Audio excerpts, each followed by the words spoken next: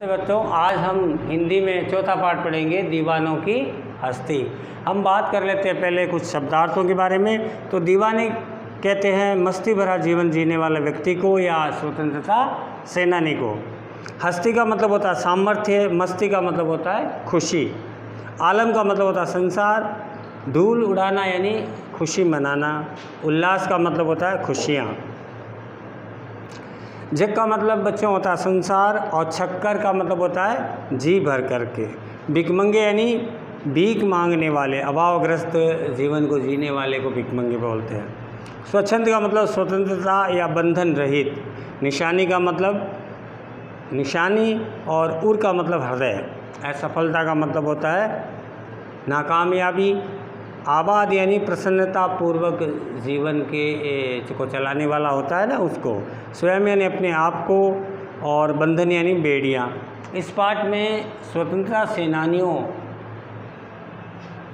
को यहाँ दीवाना कहा गया है और भगवती चरण वर्मा जी ने, भगवती चरण, ये शय आप मत लिखना, भगवती चरण वर्मा, इतना ही होता है।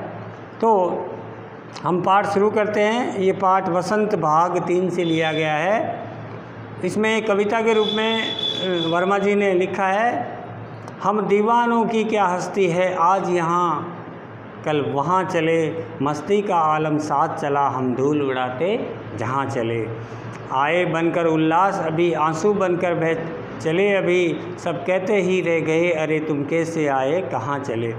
इस पाठ में दीवानों की हस्ती जो कविता है, उसमें ये कवि ने बताया है कि भारत की स्वतंत्रता के लिए बलिदान होने की मस्ती में डूबे स्वतंत्रता आंदोलन के सेनानियों की मनोदशा का वर्णन करते हुए वर्मा जी लिखते हैं कि कभी भी स्वतंत्रता सेनानी एक स्थान पर टिककर नहीं बैठते। वो लोगों में नया जोश, उल्लास ये भरते रहते हैं। कवि कहता है आज़ादी के लिए अपना सब कुछ लुटा देने वाले वीरों का मन जोश से भरा हुआ है। इसके लिए देश की गरिमा हमेशा सर्वोपरि होती है। उनके आगे उन्हें अपना कोई, यानी कोई हस्ती नहीं दिखती है। आज़ादी के दीवाने हैं। जहाँ मन हुआ, वहीं चले लोगों में उल्लास पैदा करने के उद्देश्य से सारे देश में घूमते हुए चले। जिस दिशा में वो अपना कदम बढ़ाते हैं उसी दिशा में जोश और उल्लास का वातावरण पैदा कर देते हैं। कवि के अनुसार ये दीवाने लोगों के लिए हर्ष और उल्लास लाते हैं और जब वे वहाँ से जाते हैं तो उनके बंधु बांधवों की आँखों में स्नेह के आँसू उमड़ पड़ते हैं और वो उनसे कहने लगते हैं कि अभी अभी तो आए थे, इतनी जल्दी कहाँ चले? तुम यहाँ कुछ दिन और रुकते तो हमारे अंदर एक नया जोश भरता। किस और चले ये मत पूछो, चलना है बस इसलिए चले, जग में उसका कुछ लिए चले, जग को कुछ अपना लिए चले। दो बात कही, दो बात सुनी, कुछ हंसे और फिर कुछ रोए। छक्कर, दुख, सुख दुनिया की घूंटों को हम एक भाव में पिरो कर चले। यानी इस पंक्ति में कवि कहता है कि दीवानों के लिए सुख और दुख समान रूप से दीवाने कहते हैं कि उनका आने जाने का कोई ठिकाना नहीं है और न कोई इस, उनके ठिकाने के बारे में पूछे। उनका कोई निश्चित स्थान नहीं होता है। उन्हें बस अपने स्वतंत्रता रूपी लक्ष्य तक पहुँचना है इसलिए चले गए। वे कहते हैं कि संसार में उनकी कुछ यादें हैं। वो यादें लेकर आए हैं और कुछ भावनाएँ लेकर के आगे बढ़ चले हैं। वे अपने देशवासियों के सुख दुख को अपना साझीदार बनाते हैं। यानी वो हँसते हैं तो दीवाने हँसते हैं। वो रोते हैं तो दीवाने रोते हैं। उनको सुख है तो उनको भी सुख है। उनको दुख है तो उनको भी दुख है। इस प्रकार जीवन का आनंद लेते हुए चले। हम बिकमंगों की दुनिया में स्वच्छंद लुटा कर प्यार चले। हम एक निशानी उर पर है। ले सफलता का भार चले। अब अपना और पराया क्या आबाद रहे रुकने वाले? हम स्वयं बंधे थे और स्वयं हम अपने बंधन तोड़ चले।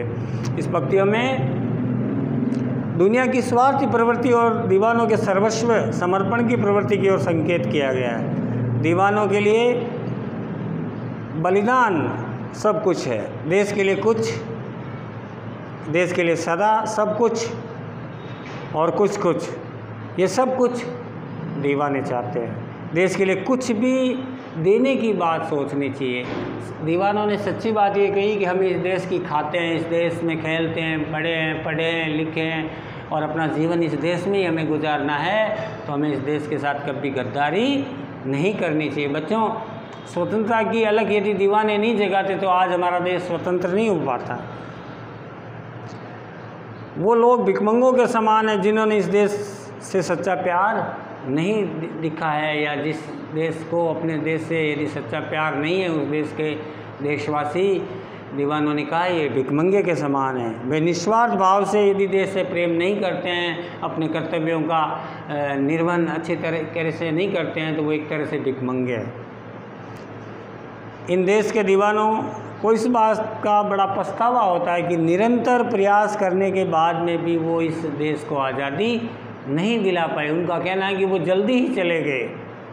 अपनी असफलता के इस बोझ को हृदय में धारण किए हुए अपने कर्तव्यों को निभाते जा रहे हैं। देशभक्ति की भावना जिनके मन में होती है, वो वीर कभी भी किसी भी प्रकार से न तो कोई भेदभाव करते हैं, न देश की संपत्ति को नुकसान पहुंचाते हैं, उनके लिए न कोई अपना है, न कोई पराया है। जिस देशवासी के अंदर देशभक्ति की भावना होती है वो वीर कभी भी किसी के साथ कोई भेदभाव नहीं करता है, उनके लिए न कोई अपना है और न कोई पराया है। वे यही चाहते हैं कि वे रहे, न रहे, लेकिन देश की संप्रभुता हमेशा रहे। देश हमेशा आन बान और शान में रहे। उन्होंने कहा कि अपने जीवन के लक्ष्य को स्वयं हम निश्चित करें और जितने भी बंधन हैं, उनको तोड़ करके हमारे लक्ष्य को हम प्राप्त करें। हम जितने भी रिश्ते नाते हैं उनको देश से आगे नहीं रखें, यानी देश हमारे लिए सर्वोप्रिय उसके बाद हमारे रिश्ते, नाते, धर्म, सब कुछ बाद की बात है। इसलिए कवि कह रहा है कि दीवानों को अपनी हस्ती मालूम है कि हमें देश के लिए ही जीना है और देश के लिए ही मर मिटना है। तो बच्चों, देश के लिए हमेशा सुख की कामना करनी चाहिए और इसके आज हम आपको तीन प्रश्न दे रहे हैं। पहला प्रश्न है, स्वतंत्रता के दीवाने एक स्थान पर टिककर क्यों नहीं बैठते? इसके उत्तर हम बताएँगे आपको। दूसरा प्रश्न है, कवि के अनुसार देश की स्वतंत्रता के लिए दीवाने अपनी हस्ती को तुच्छ क्यों मानते हैं? और तीसरा प्रश्न है, आगे की ओर बढ़ने पर उनके बंधु बांधव दीवानों से क्या कहते हैं? तो पहले का उत्तर आप देखिए।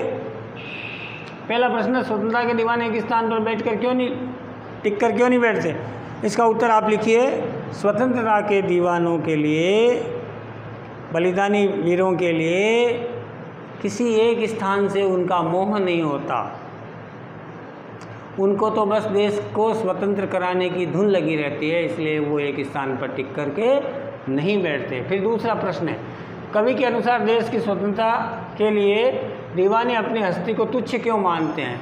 वो इसलिए मानते हैं क्योंकि स्वतंत्र मातृभूमि को स्वतंत्र कराने के लिए दीवाने देशभक्त अपने जीवन से अपने आप को कुछ नहीं मानते, यानी अपने जीवन को महत्व नहीं देते हैं, बल्कि महत्व किसको देते हैं? इस देश को देते हैं, इस देश की आज़ादी को देते हैं। अगला प्रश्न है, आगे की ओर बढ़ने पर उनके बंधु बांधव दीवानों से क्या कहते हैं? तो आपको लिखना है आगे की ओर बढ़ने पर उनके बंधु बांधव दीवानों से कहते हैं कि वे अभी तो आए हैं और इतनी जल्दी कहाँ चले गए? और रहते तो हमारे देश में और स्वतंत्रता की अलग जगह थे। तो बच्चों, ये था पाठ और आज आपको इसमें तीन प्रश्न करने हैं। बाकी के प्रश्न जो है, हम अगले वीडियो में आपसे पुनः लेकर के आएँगे। तब तक के लिए नमस्कार।